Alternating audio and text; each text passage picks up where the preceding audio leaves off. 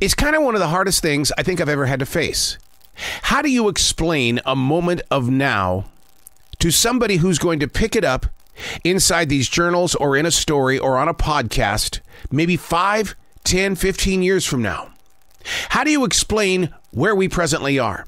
It's very difficult to even talk about 9 11 because there are many people from the generation of Alpha, that's the new one, that look at you going, Well, I've heard about it, but I don't know how you guys went through it and how you embraced the changes that you faced. The same is going to be true when it comes to the COVID 19 lockdown. I mean, we're four years beyond March of 2020. But to talk about it, it's more like, I think we were there. Well, yeah, we were, but we readjusted and w- we got by. No, I'm going to be very honest with you. I think there are billions of us that are very lucky that we are here today. Luck was on our side. I lost my mother during the COVID lockdown. I lost my sister in the years after because it was associated with the COVID. So we're lucky to be in this moment. But how do we explain? How do we share our story? My grandparents didn't write journals.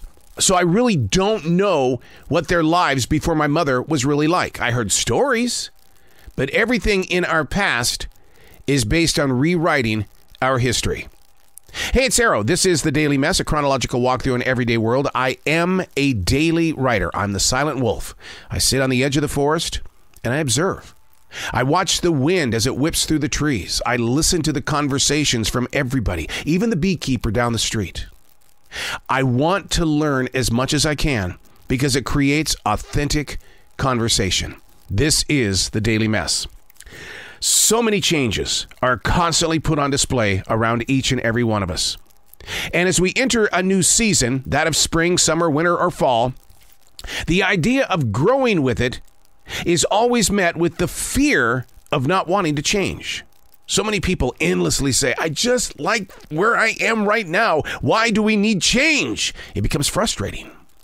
Well, being that daily writer for 30 years, I'm sure I've asked that very question a billion times, only to learn newer ways to accept change. The most valuable lesson is that it doesn't instantly happen, this thing called change. Things happen long before the moment of recognition. Yes, there are events that come from out of nowhere that instantly put us on new paths, unlike anything experienced. Such change as this has ways of rearranging our dreams and lifestyles. I see more of it at the age of 61 than any other time in my life, mainly because the acceptance of change means being aware of change and all that change brings.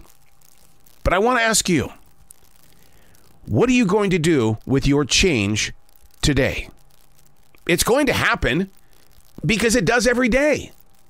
So I'm asking, what are you going to do with your change? How are you going to react to your change?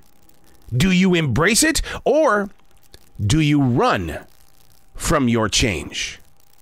This is why I'm a daily writer. This is why I like to defrag, ask the questions, question the answers, so that I can put my change in a place where I can go back and look at it, to study it.